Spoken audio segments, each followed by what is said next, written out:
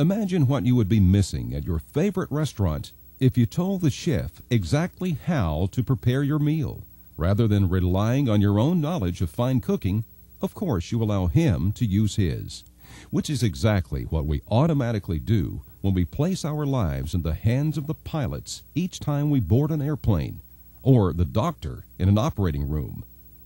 Giving knowledgeable professionals the freedom to use their expertise in cases like these is an idea we pretty much take for granted.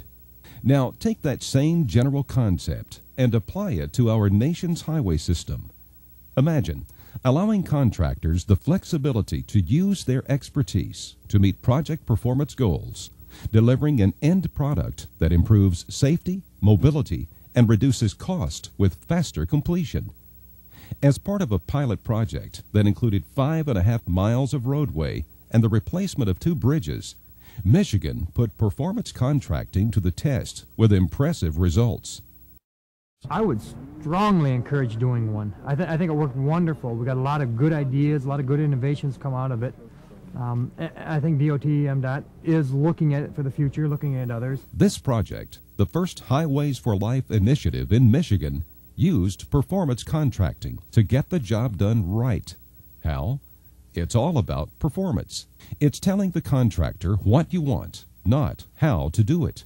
It's goal oriented, best value driven, and rewards better than minimum outcomes. Now, that's a better way to do business. Now that we're almost done with it, we're very happy with the way that everything's gone.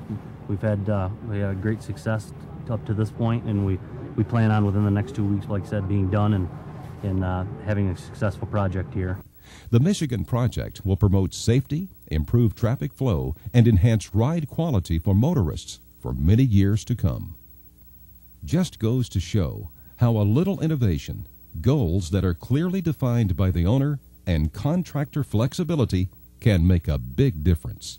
For more information on performance contracting and how this innovative approach can make a difference in your area, contact the Federal Highway Administration and Highways for Life or visit their website.